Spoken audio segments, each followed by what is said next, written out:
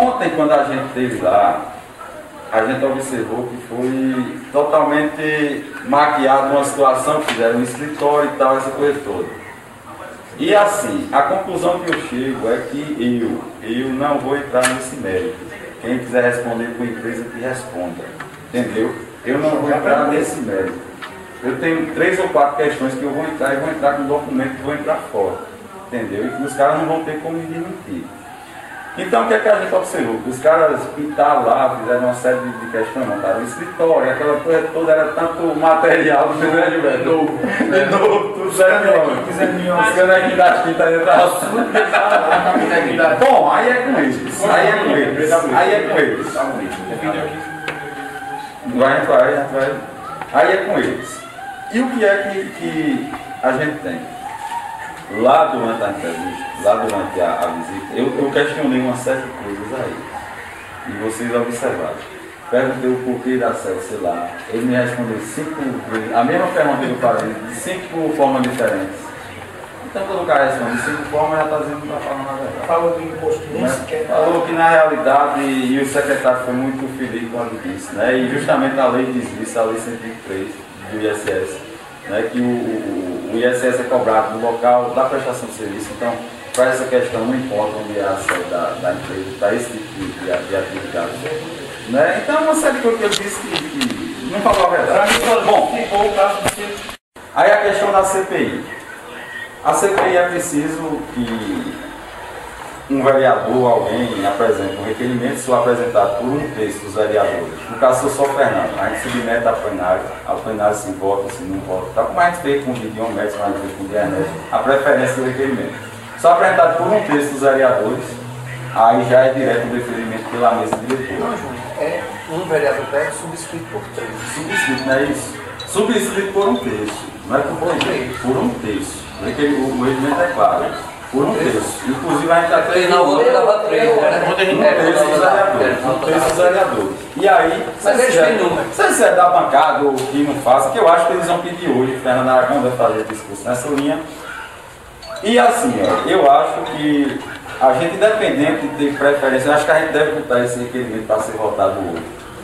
E esse é o meu ponto de vista. Eu acho que a gente deve votar contra. Que acho que vocês já perceberam que Ernesto já disse por umas três vezes Nessa empresa eu venho com alguém, muito influência, quer solicitar no Santa Cruz e tal. Não se surpreenda, não se surpreenda você tocar no nome de outro. E aí Diogo vai ter que dar explicação, né? Vai ter que dar explicação se é verdade, se é mentira. Mas não se surpreenda se ele disser. Se ele disser, eu não sei até que ponto é a ligação do Diogo e tal, né?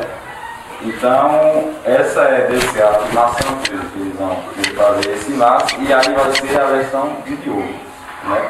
Eu estou dizendo isso porque pode acontecer, né? pelo que eles vêm dizendo aí, porque só um cego aqui não percebe que é voltado, e essa é questão política que eles querem, talvez nem tanto ferrar com eles, mas do Diogo. Né? Como a Ernesto quer ser candidato, tá, então a versão do Diogo. E aí nesse ponto que se de repente, a gente tem até a noite logicamente, se eu quiser ligar aqui e tal, e segue a versão. Também não sei se eles vão afirmar alguma coisa ou não. É o que aparenta, né, pela que a Ernesto está dizendo. É, e aí, se for afirmar alguma coisa e tal, eu sinceramente não vou focar no assunto. Não vou tocar no Até porque a gente, Até porque a gente vai por etapa, vamos investigar. Ah, prova vamos investigar. E outra, né? Olha, e outra, minha. E outra, veja só. Veja só, veja só. A prova do ônus é de quem atua. Eu não posso dizer que Jéssica é, é o quê? É uma, uma máquina, é uma máquina sem ter a prova que Jéssica é uma. Amarela. Não é? Se eu disse, se eu fiz a acusação, eu tenho que ter a prova. Eu não sei se vocês lembram, mas só para título de esclarecimento também. Aqui é bom, quanto mais informação a gente tiver, melhor. Durante a CPI a gente fez é, uma série de ouvidas. E teve uma ouvida que foi um funcionário de Zé Elias. Marcelo, ela vem por cima e sabe dessa E eu perguntei a ele, você trabalha com que? Logicamente, já sabia que aquela coisa. Trabalha com que? Com estilos. Você tem alguma relação com o Zé Elias? Tem. O o Zé Elias que trabalha para mim. Olha. Olha. A empresa é no nome de Marcelo. E a empresa laranja? Tá entendendo? Então assim, eu estou dizendo essa questão dos nomes, que é o que tem procuração, que tem a, os contratos. Eu estou fazendo a título de informação. Né? Então, tem esse, essa, essa questão também, e a linha do dispensariamento vai ser essa. Por último, a questão das ordens do sorteio. Eu acho que quem participar do sorteio, foi, aí é uma maldade, mas tudo é válido nesse momento, porque hoje vai ser um É hoje. Hoje vai ser um É filme desse pesado, porque esse não é nada. E aqui a gente está falando e está tratando aqui a questão de confiança. Está tratando aqui a questão de confiança, olhando nos olhos de cada um de vocês. Cadê o Ronaldo? Olhando nos olhos dele também. Está tratando a questão de confiança. Eu acho que quem participar do sorteio, eu acho que quem tiver um, um jeitinho tal, tal, porque de repente os caras não percebem. Tá lá a bolinha de Ernesto tal, e você pega na secretaria o saco e balança o saco com a bolinha na mão, quando puxar já vem ela, sabe? Eu estou dizendo aqui, eu estou dizendo aqui, eu estou dizendo aqui, utilizar a malandragem nessa hora, sabe? Eu estou dizendo aqui utilizar a malandragem nessa hora. Agora,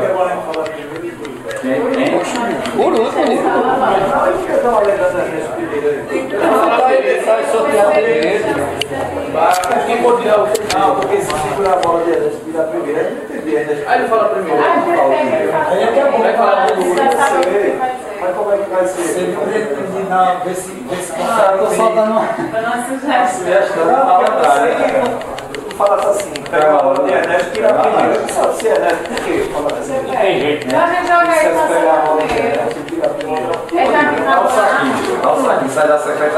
o saquinho. Vamos lá. Vai o Ah, tirar primeiro, vai tomar Vai o sorteio. Pronto. Acabou. Entendeu? Acabou. Mas a gente tem que jogar na malandragem com esses caras. Os caras são suri. Os caras são fora. Bom, esse jogo a partir de agora começa a ser um jogo pesado. Um jogo muito pesado. Como o Guida disse, esse negócio de comer pizza e tal, acabou. Já. Não acabou. Já era. Agora é na velha. É na velha. Agora é na velha. Não tem esse negócio de ajeitado não. E aí, ó, e aí, e aí, eu quero é, acordar pouco vocês. Logicamente dentro do limite. Dentro do limite. Mas provoquem, provoquem Carlinhos, pode provocar. E não dê a parte. Com toda a força, não der a parte, provoca agora dentro, logicamente, provoquem, né, de que, que- Bom, vocês Já sabem. Porque o que eu quero, o que eu quero é fazer o medo da Carlinhos tamanho do vídeo. Que a partir do momento que ele for falar, se- e ele vai pedir a primeiro, ele vai dizer por coisa, eu vou cortar o microfone dele.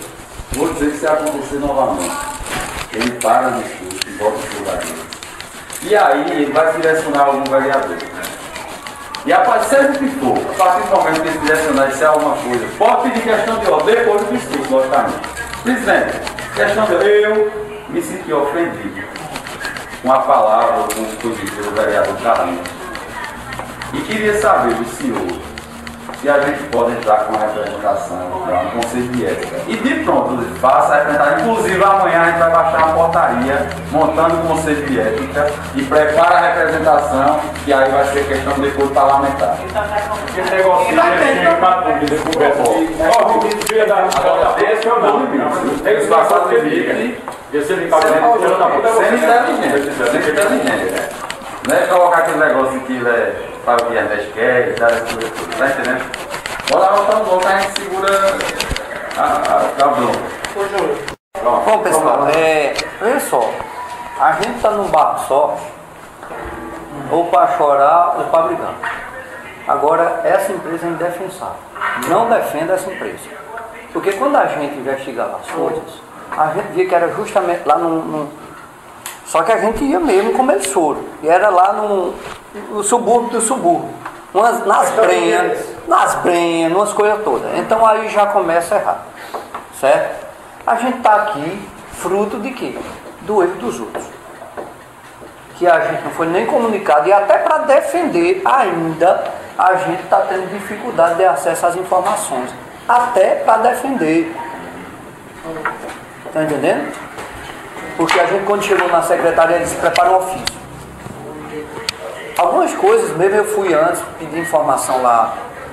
Aqui vou externar mais uma vez a Carlinhos com relação à folha. Aí disse assim, ó, Fran, isso é só se pedir a Edson.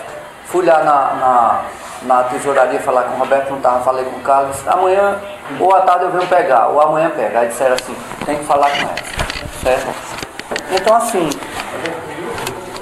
a gente, a gente, eu venho insistindo desde os primeiros dias a necessidade da, para a gente defender o pedido de informação. Foi quando nós a gente defende até aqui. Se não tiver informação para defender o governo. Então a gente vem insistindo nisso, até firmei ainda segunda-feira, que Priscila chegou com o envelope, passou para Luciano, Luciano socializou as informações. Tá certo? Então, tem algumas coisas que não dá para a gente ver. Então, o primeiro aspecto é esse, ou seja, a gente vai defender, vai. Agora eu vou de... empresa, não defendo. Em nenhum momento eu vou defender essa empresa. Diga que ela é legal. ela é legal. Foi ontem lá. Entendeu? Né? Não, não viu o carrinho de É legal. Não é? Porque tudo foi maquiado. Pintou-se, botou-se placa, essas coisas. Certo, não. A- o processo formal é. Como em todo o processo que a gente viu, o processo estava formal. Está entendendo? Ou seja, se a gente for, como é que for, só que, como